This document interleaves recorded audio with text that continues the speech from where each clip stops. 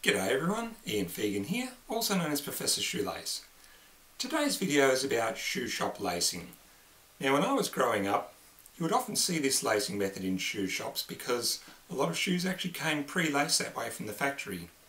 Don't see it so much nowadays, but the name's still stuck. Now I'll show you this lacing method on my Ian Shoelace site. I'll just zoom up to the diagram and you can see if I animate it it's basically one end running diagonally from bottom to top the other end zigzagging through the remaining eyelets and tied off at the top of the shoe. Now let's look at that on a real shoe. I've started with both ends feeding in straight across the bottom and feeding in through the bottom eyelets and the left end I've got fairly short and the right end about twice as long.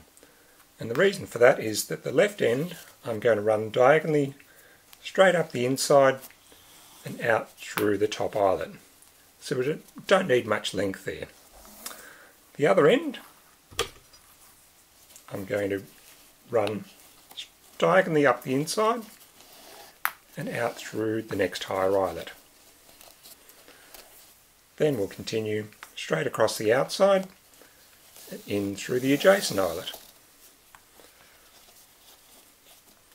Again, diagonally up the inside and out through the next higher eyelet, straight across the outside and in through the adjacent eyelet.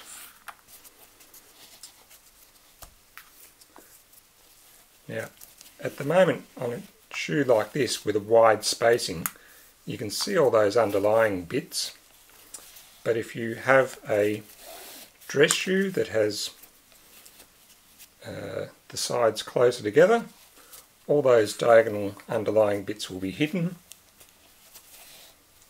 You have a much neater result. In any case at the top of the shoe tie it off.